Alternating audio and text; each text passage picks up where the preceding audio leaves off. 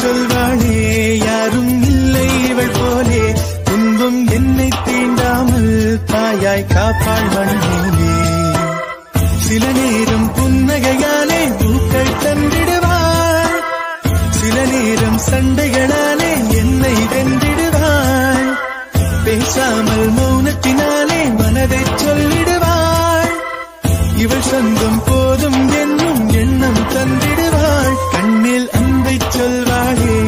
யாரும் இல்லை இவள் போலே. துன்பம் என்னை தீண்டாமல் தாயாய் காப்பாள்